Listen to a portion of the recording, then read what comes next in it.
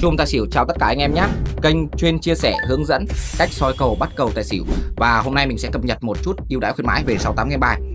68 game bài đang có ưu đãi khuyến mãi nạp đầu lên đến 100% cho những em tham gia và tặng 2% cho mỗi một đơn nạp hàng ngày và đặc biệt là tặng cho anh em tân thủ là 30k để anh em thể khởi nghiệp và 30k này anh em có thể chiến đấu tất cả các sảnh, các trò chơi có trong 68 game bài anh em nhé. Và hôm nay mình sẽ tiếp tục vào chiến đấu kiếm lúa và sẽ chia sẻ cho anh em những kỹ năng, kinh nghiệm để anh em có thể áp dụng đơn giản, hiệu quả. Anh em theo dõi video có thể ủng hộ mình bằng cách nhấn like và đăng ký kênh để theo dõi những video cập nhật những cái tin tức mới nhất nha anh em nha. trở lại với kênh của mình và hôm nay mình sẽ chia sẻ cho anh em cái cách soi. Sóng xí ngầu làm sao mà soi được một cách chuẩn nhất? Đấy đúng không? Thì hôm nay mình sẽ không viết ra kiểu là sóng kiểu lên xuống này rất là khó. Thì mình sẽ phân tích ra là lên xuống lên xuống và xuống lên như thế nào đúng không? Đấy thì mình sẽ phân tích cho anh thì thông thường lại xí ngầu mình sẽ có là ba điểm. Ờ, xí ngầu một này. Xí ngầu một đúng không?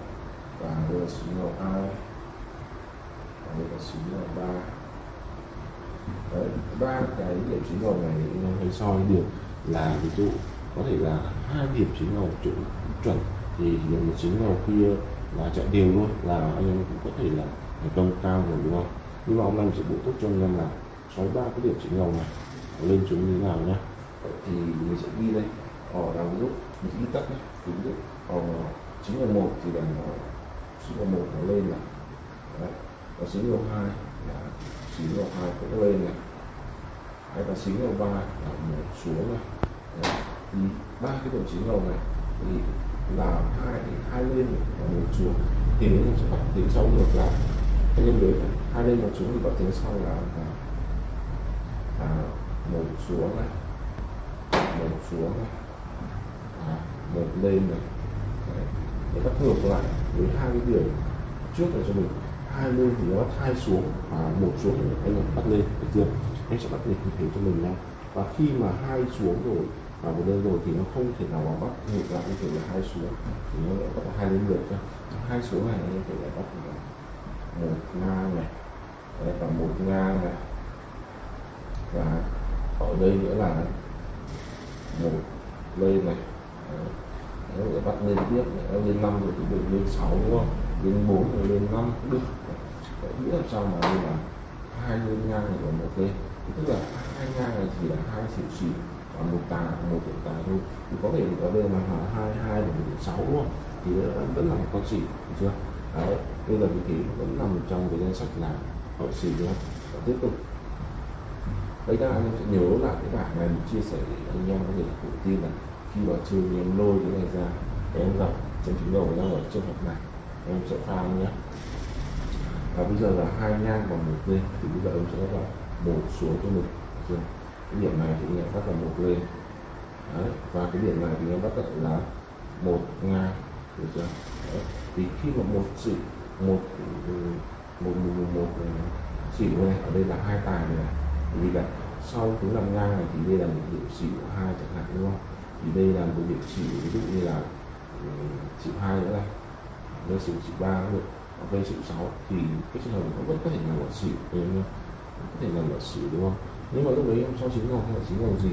Ví dụ đây có thể là chín ngầu hai chín ngầu hai là chín ngầu sáu. Và chín ngầu sáu thì nó vẫn là nằm ở xỉu cấp 10 chẳng hạn đúng không? Nhưng mà trong trường hợp nếu như mà đây là trước đó là cái điểm nằm ngang là điểm xỉu ba à, xỉu bốn chẳng hạn thì sau này thì nó là một con xỉu ba xỉu hai thôi. thì cái hợp này có thể là một ở tài đúng không? Đó ok thì tiếp tục anh em ạ thì đây là một xuống thì đây là một ngang. Thì một xuống này thì em sẽ bắt sang cho mình là chính là một lên tiếp này. Đó. và đây sẽ là một ngang này. Và đây sẽ là một xuống này. Và một lên một ngang một xuống. Thì cái tuyến này nó sẽ nằm ở xỉu nhá thì tôi là một bên chịu lên cho 6 đi. Đó, một ngang thì là hai đúng không? Có thể là hai hoặc là ba gì đó đúng không? Đây là xỉu thì nó sẽ là một. Đấy, một một ba này và một sáu này đúng không? Sáu ba ra một thì đúng là ba con mười trở ra trường hợp này cũng cũng đúng. Đấy. đây là cái điểm soi chín ngầu của mình. Anh em có tham khảo được cách soi chín ngầu này thì cũng có cái lãi cực kỳ là ổn đấy anh em ạ.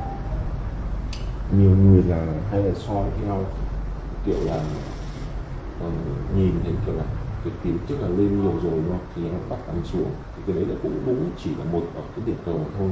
Nhưng mà anh em nhớ đây là quy luật của nó Đấy, kiểu là uh, kiểu lập trình sẵn ở game rồi ấy. Đấy.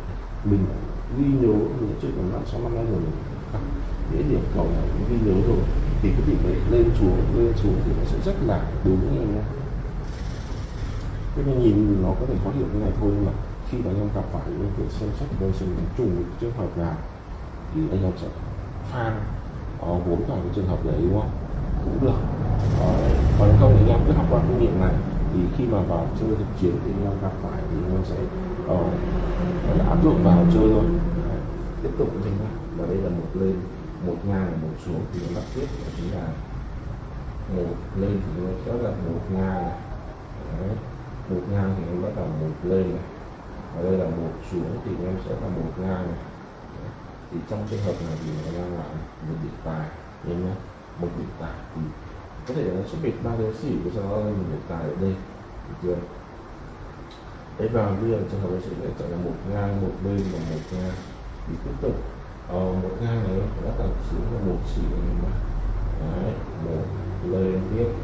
Và trường hợp này bắt là một lên tiếp. Đây là điện tài tiếp này. Có thể vận tài kép chẳng hạn đúng không? Đấy khi mà anh em gặp phải ở những cái cái điểm cầu này. Thì em cứ bắt nhất cho mình nếu nếu như anh em mà không muốn soi nhiều thì em chỉ cần là soi việc là tầm hai cái bịch này đúng không? Thì anh em lúc đấy là nhìn thấy đã phù hợp với con việc rồi thì em có thể vẫn theo bịch đúng không?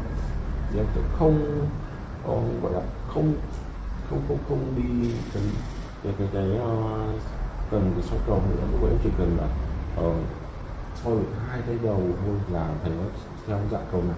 Đúng như cầu đấy rồi thì em sẽ pha vốn vào thôi đúng không? Không cần soi nhiều được chưa? Đấy. cái công thức soi sinh cầu này của mình khá là ok.